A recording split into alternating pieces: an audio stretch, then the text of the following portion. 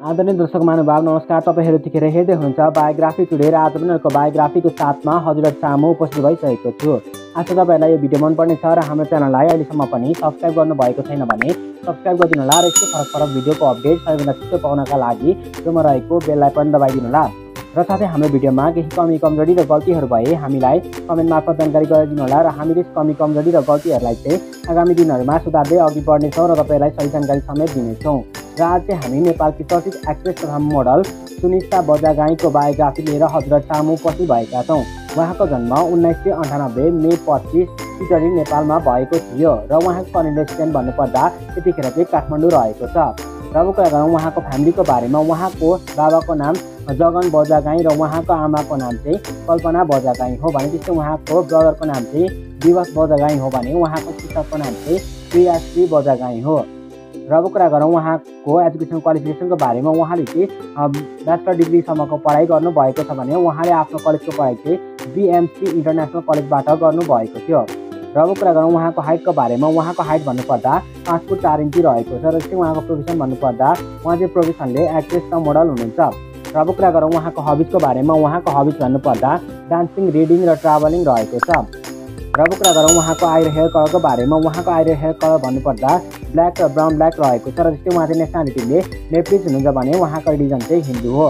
र अब कुरा गरौँ उहाँको इन्कमको बारेमा उहाँको इन्कम भन्नुपर्दा two to four lakh per month रहेको छ भने जस्तै उहाँको नेटवर्थ भन्नुपर्दा चाहिँ approximately ten to twenty lakh self on रहेको छ। र अब कुरा गरौँ उहाँको करियरको बारेमा उहाँ चाहिँ सानोदेखि मोडलिङ सेक्टरमा एकदमै बढी रुचि रहेकै कारणले गर्दाखेरि उहाँले चाहिँ भविष्यमा गएर एउटा राम्रो मोडल बन्छु भनेर सोच बनाएर अगाडि बढ्नु भएको थियो भने उहाँले चाहिँ पहिलोचोटि म्युजिक भिडियोबाट आफ्नो करियरको स्टार्ट गर्नुभएको थियो। र अब कुरा गरौँ उहाँले खेल्नुभएका म्युजिक भिडियोहरूमध्ये पपुलर बन्न सफल भएका म्युजिक भिडियोको बारेमा उहाँले खेल्नुभएका म्युजिक भिडियोहरूमध्ये पपुलर बन्न सफल भएका म्युजिक भिडियोहरू चाहिँ घरमा कोही म राजकुमार फुलबुट्टे चोली भङ्गेरा भङ्गेरी लगायतहरू पनि विभिन्न म्युजिक भिडियोहरू चाहिँ एकदमै धेरै चर्चित पनि बन्न सफल भएका थिए भने र उहाँको म्युजिक भिडियोहरू चाहिँ एकदमै धेरै चर्चित भए तापनि उहाँले चाहिँ खासै धेरै चर्चा कमाउन सफलहरू भएको थिएन भने उहाँलाई चाहिँ पछिल्लो समय हामी कलेज नेपालमा देख्न सक्छौँ भने उहाँले चाहिँ कलेज नेपालमा आइसकेपछि उहाँले एकाएक चर्चा पनि कमाउन सफल हुनुभएको थियो भने उहाँको एक्टिङलाई पनि नेपाली दर्शकहरूले एकदमै बढी रुचाइरहनु भएको छ भने र आजभोलि चाहिँ हामी उहाँलाई आजकलको लभ भन्ने एपिसोडहरूमा देख्न सक्छौँ भने उहाँलाई चाहिँ नेपाली दर्शकहरूले एकदमै धेरै रुचाइरहनु भएको छ र उहाँलाई साथ सपोर्ट दिएर त्यतिखेर अगाडि बढाइरहनु भएको छ भने उहाँ चाहिँ आजकलको लभमा दिवेश गुरुङसँग खेलिरहनु भएको छ। र उहाँ चाहिँ टिकटकमा पनि हुनुहुन्छ भने यतिखेरको समयमा उहाँको टिकटकमा चाहिँ three ninety nine point one केजनाले follow गर्नुभएको छ।